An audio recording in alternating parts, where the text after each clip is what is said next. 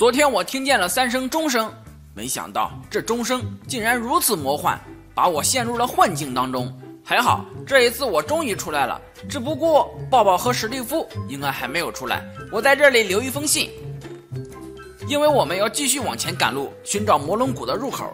这些武器也留给他们两个吧。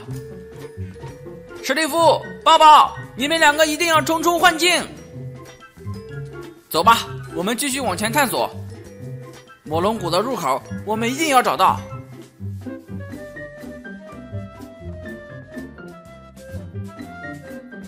啊！这里难道是魔龙谷的入口？不会吧，真的被我给找到了！哎，怎么都没有人呢？哇塞，看来这里果然就是魔龙谷了。下面有一个压力板，难道踩了压力板，门会打开？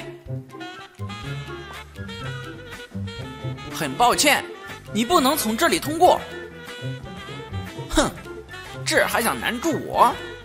哦，别动，外来人！大哥，有话好好说呀，别别动手，别动手！你们这些外来人，不在外面好好的待着，非要找我们魔龙谷，我看你是想找死！大哥，你误会了，你误会了，我只是误打误撞才走到这里的呀。哼你以为我会相信？大哥，你只要不杀我，什么都好说。哼，你这个外来人，就在鸡岩坑里面等死吧！过几天就是你的忌日了。你给我回来！给我回来！这魔龙谷的人这么厉害的吗？一件东西都没给我留，身上的盔甲、武器全都被他们扒走完了。哎，这基岩坑我该怎么跳出去啊？也不知道史蒂夫和抱抱他们两个怎么样了。老大，抱抱，你们在哪里呀？史蒂夫，我在这儿呢，我在这儿呢。啊，抱抱，你没事吧？史蒂夫，我没事儿。这到底是怎么了呀？一转眼就找不到你们了。对了，我怎么没看到呆呆呀？这边怎么还有一个箱子呀？我也是刚刚来到这里，老大就不见了。我们打开箱子看看，说不定呆呆留给我们有线索。爸爸，你快看，这里有一本留言。史蒂夫，你快看看，呆呆跟我们讲了什么？爸爸，史蒂夫，我们中了魔幻钟声。